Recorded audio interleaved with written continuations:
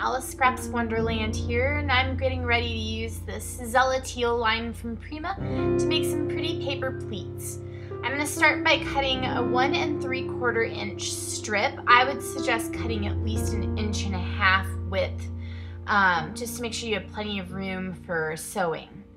So I'm going to do this twice because I'm going to show you two different types of pleats.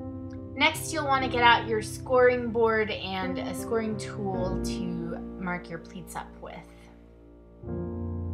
I'm going to start out with a box pleat and I'm going to score at the half inch mark and then I'm going to go over one quarter inch and then another half inch and then a quarter inch and then three quarters of an inch and then a quarter inch.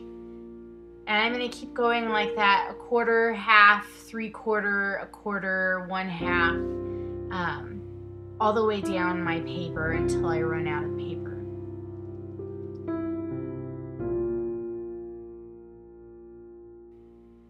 So you'll fold this box pleat so that the half inch sections are raised and you'll be using those quarter inch sections to create the, the texture, the dimension.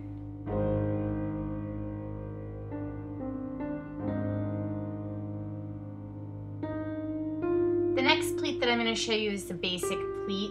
And you're going to start by scoring at the half inch mark and then go over a quarter inch from that. And again, a half inch, quarter inch, half inch, going back and forth between those markings and then go all the way down the paper.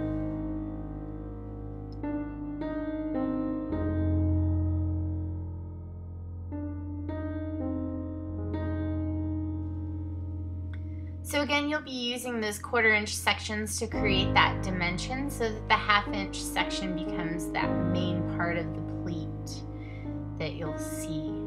So it's an over and then back.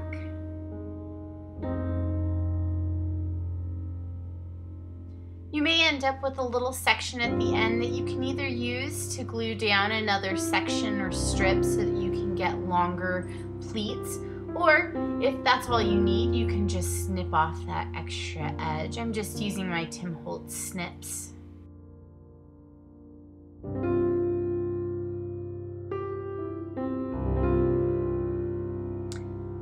And it's always fun to add a little distress ink or chalk ink to the edges just to give it a little bit more dimension. Just ink up all of the different edges, the sides, and then I'll be doing the creases of the pleats as well.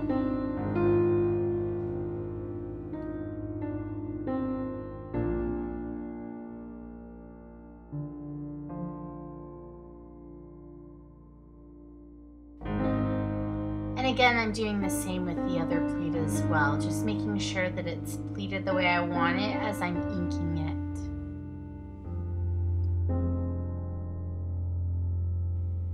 Next, I'm using my We Are Memory Keepers Stitch Happy sewing machine. I love this machine because it's made for sewing on paper and you can clean the little paper piercing pieces out from underneath the machine with your vacuum cleaner.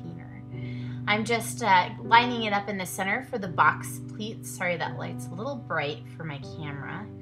Um, and as you uh, sew this together, just kind of stop, stick your pleats together the way they should go, and then feed it through the machine. And just keep doing that until you get all the way down your strip.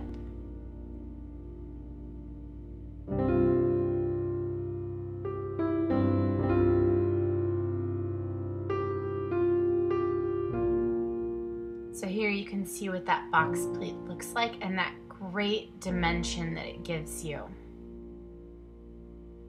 And here I am doing it with the other type of pleat.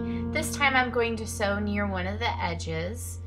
And again, just get a little bit of it pleated, get it into your machine, advance your needle, and start to sew, and then stop and pleat more as you need to. This is a really easy process to do with this machine, but you can certainly do it by hand with a paper piercer and sewing by hand. It takes a lot longer, but I think the dimension that you get is well worth the time. So here's what those finished pleats look like side by side so you can see the difference. I just love using that excess thread on the edges in my projects to give it some more dimension and texture. So you can really see that those pleats just give you a lot of dimension up off your page or your project. These are perfect for scrapbooking layouts, cards, mixed media projects, whatever you want to use it for.